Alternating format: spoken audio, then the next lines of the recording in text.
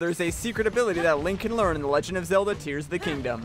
Here's how you do it. Make your way to the Akkala Ancient Tech Lab. It's been converted to a hideout for the Yiga clan.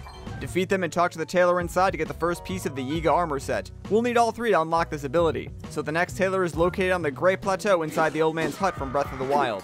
Same deal as before. Defeat the enemies and free the tailor for the next piece of armor. The last hideout can be hard to find. It's near the Aldor foothills on this area of the map inside of a cave. Get rid of the Yiga clan and use Ascend to reach the tailor for the last piece of armor. Now that you have all three pieces of the Yiga set, head over to the main Yiga clan hideout in the Gerudo Highlands. Make your way to this Blade Master in the center of the hideout and he'll give you three challenges. Complete the first two and you'll learn the secret Yiga Earthwake technique. To use this technique, remove any weapons that you have and charge a spin attack. The longer you hold the charge, the further the attack will go. It doesn't do a lot of damage, but it's great for crowd control and it's a lot of fun to use. Subscribe and follow for more Tears of the Kingdom tips and tricks because I bet you didn't know